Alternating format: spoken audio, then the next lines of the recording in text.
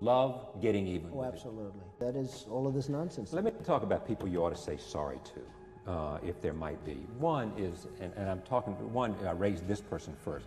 That guy in Philadelphia, you know, who they say you got fired.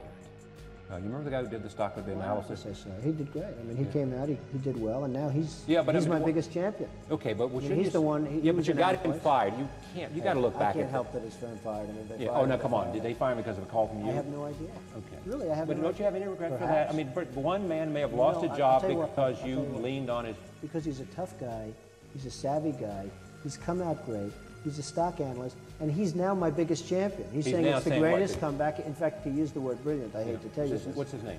His name is Marvin Roffman. Ross, that's right, you and he that. was a great critic of me, and now he's saying that this was one of the most brilliant So things you did him a favor by getting him fired. Well, I think in the in the long run, I think he's probably doing better now. so than he you did him a then. favor. That's so. Indirectly, I did him. I wasn't looking to do him a favor, but I think indirectly. But don't you regret that? I mean, you know, No, you I don't regret it. this guy lose his job. No, because that's life. You can't look back.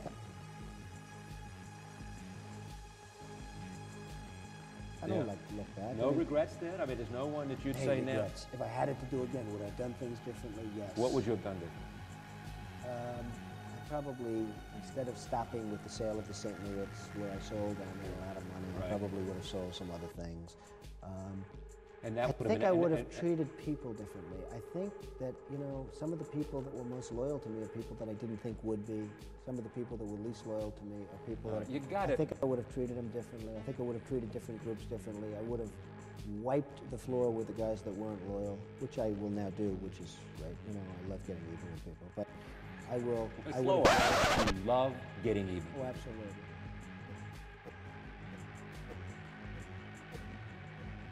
You don't believe you don't believe in the eye for the eye. You do. No. I know you well enough. I think you do. But anyway, but But tell me, I mean, you you're going to get even with some people because yeah, I know. If they- given the opportunity, if given the opportunity, I will get even with some people that were disloyal to me. I mean, I had a group of people that were disloyal. But how do you define disloyalty? Uh, they didn't come to my aid. Uh, Well, what did they didn't do? They turned their back things. on you? No, but they didn't do small things that would have helped. They didn't do large Give me things. one example. Well, I had a one man who, who frankly was on the board of a company that I was selling, and he, it was a tremendous sale for me. It was a great sale. was a, would have been a very helpful sale, and it ended up going through. But one of the things is that I had This to take Shuttle? No, this was a different company. I, it doesn't matter which company, and uh, it was a great thing for me. But one of the things is I had clear I had to clear the board. Now I only put him on that board because of the fact I thought I was doing him a favor. He got some money by being a board member, et cetera, et cetera. He contributed nothing when it came time, I have five board members. When it came time to be to, to removing the slate and getting all my people, everyone said, "I'm leaving." Right. Steve Bollenbach, Harvey Freeman, everyone left except this one particular person said, "I don't want to leave." He told my people, "I don't want to leave." Well, when I heard about it, I went nuts and I blasted him, and all of a sudden he left. But I consider that a great act of disloyalty. I put him on that board. Now he did leave. I mean, he did leave. It's a little like Andrew. I mean, Andrew ended up in favor of Riverside South, but for all I had done, I had never asked him for anything. This is a great job. This is a job that he should have been in favor.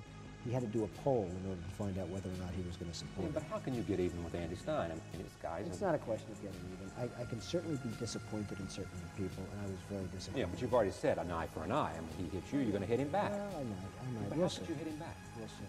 Hey, time will tell, I guess, right? Yeah, Are you looking for the opportunity? No, I'm not looking. I'm, I'm just really so disappointed in him. I'm disappointed in other people. And I was disappointed. I was disappointed in this one man that didn't want to get off the. All Now, He got off. Okay, but that's he got off. So I mean, No, no, he got off. He got off after being hit over the head with a cannon. Okay. What was the got off. cannon? The cannon was me. And he ended up. What was the threat, though? I mean, did you blast him in the paper and that was No, enough, no, or no, did you say? the threat was the threat was just sort of a just a strong threat. I mean, he would have gone through a lot of hell if he didn't get off. And then he gets off and he acts like he does me a favor. He gets off. Okay, he got off maybe out of fear. You, you owe me, Donald, because I'm getting off the board. Yeah, and, and you know, it- it's like one of the great jokes of the century. But it ended up that he got off and the deal went through, but that doesn't mean I have to love this particular guy. It doesn't mean I have to love him. I want somebody that's loyal from the beginning, not somebody that's loyal because they're afraid or because they're this or because of that.